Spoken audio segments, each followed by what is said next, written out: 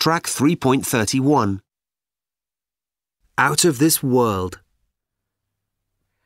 A satellite is an object that orbits another object in space.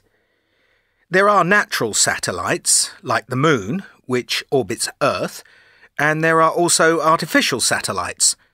Artificial satellites are man made objects which are sent into space.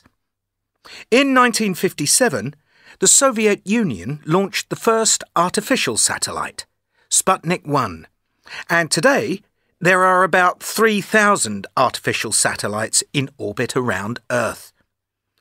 We use them to transmit phone calls and TV signals across the world, to navigate journeys, to forecast the weather, and to study the universe.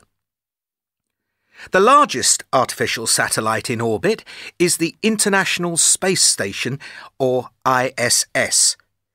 The American space shuttles started taking material into space to build the ISS there in the late 1990s, and different teams of researchers have lived there continuously since November 2000.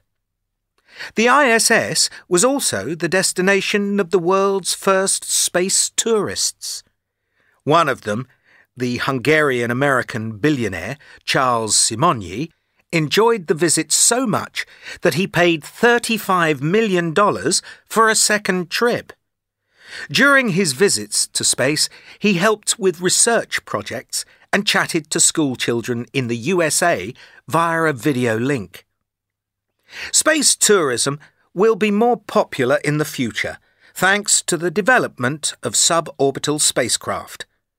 Travelling to altitudes of over 100 kilometres, these craft reach the boundaries of space, at the edge of the Earth's atmosphere. From there, passengers get a breathtaking view of Earth and can also experience weightlessness.